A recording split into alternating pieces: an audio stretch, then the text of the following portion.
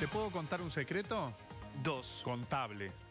Mi gran preocupación a futuro es quién me va a cambiar los pañales en la vejez. Yo me parece que ya tengo que ir apostando a esto, ¿no? ¿Puedo, Te ir, podés- te ¿puedo podés- ir comprando? En principio te puedes estoquear para ganarle a la inflación. Bueno, saben que varias veces eh, en el año las empresas, eh, la- sí, las or- organizaciones se juntan para qué? Para tratar de vender un poco más, ¿no? En diferentes etapas del año. Eh, y te quiero contar porque ahora tenemos, estamos atravesando el Cyber Monday, eh, esta fecha tan pero tan especial que a veces emula un poco lo que pasa, por ejemplo, el Black Friday o diferentes fiestas en los Estados Unidos o en otras partes del mundo. Bueno, se sumaron muchísimas marcas, más de 400, casi 500 marcas este año. Hay de todo, ¿eh? hay absolutamente todo, de pasajes, hay eh, electrodomésticos, eh, hay, qué sé yo, muebles, ropa, calzado, etc. Hay tiempo hasta mañana. Hay tiempo hasta mañana.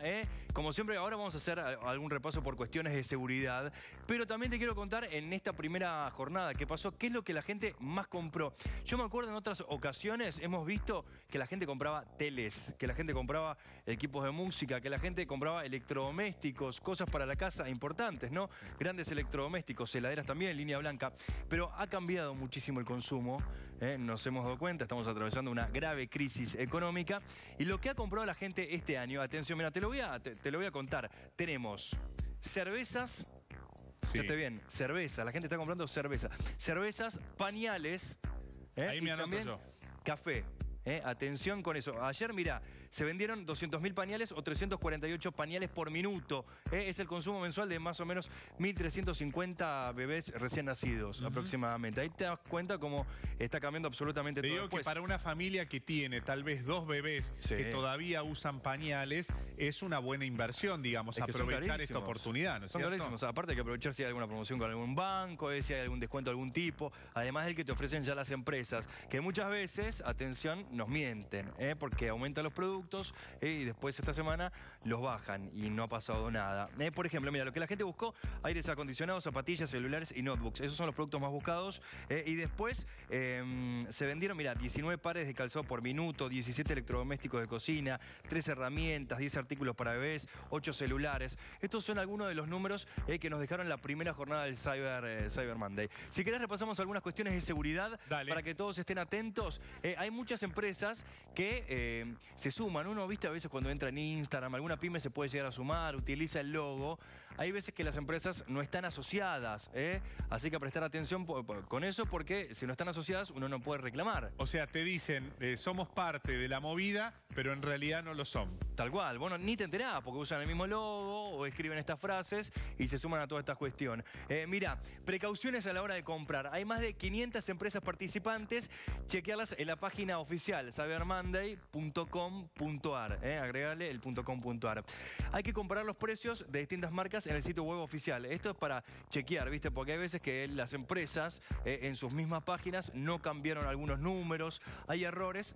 Entras en la web oficial, básicamente. O sea, A te ver, metes en la web, vas a la marca que necesitas y ahí chequeas los productos y el precio de los productos. Y como siempre en Twitter pasa muchas veces con reportes de gente que ve un precio eh, y la marca te está ofreciendo otro eh, y no corresponde y no hay a veces ningún tipo de descuento. Mira, no tener en cuenta las cadenas eh, de mensajes que llegan por redes sociales.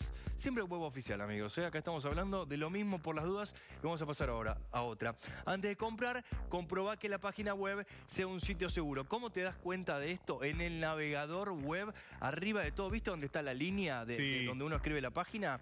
Te tiene que aparecer un candadito y te tiene que decir HTTPS. Claro. Si eso es un, sitio web seguro, uno puede poner los datos de la tarjeta, tranquilos, eh, y no va a pasar nada. Porque a veces, que pasa muchas veces, eh, hay webs que son, que son falsas y le roban encima. Sí, hay mucho avivado en el medio. Mucho avivada, porque la gente también... eh, que se aprovecha de la situación, por un lado Igual de que- la oferta y por otro lado de la necesidad de la gente. Tal cual. Y cada vez igual hay más personas que están comprando por internet. Viste que antes había como un miedo. Sí. ¿Cómo voy a comprar por internet? ¿A quién se lo compro? Yo necesito tocar el producto. Sí, hasta que le encontrás el gustito Claro, y lo tangible. Y mira, usar antivirus, eh, actualizar dispositivos móviles y conectarse a eh, Wi-Fi, a, a- bueno, a, a conexiones que uno conozca, generalmente no de, de lugares públicos, más que nada cuando uno ingresa la tarjeta de crédito. Pero bueno, a prestarle atención a todo esto, si ven algún tipo de irregularidad que pueden hacer, nos escriben. Arroba todo noticias en Twitter, en Facebook. Facebook o también atiende a la gente y nos cuentan, ¿eh? porque siempre hay un vivo detrás de todo esto que se quiere aprovechar de una gran movida de marketing que puede ayudar a muchas personas que necesitan trabajar, que necesitan vender,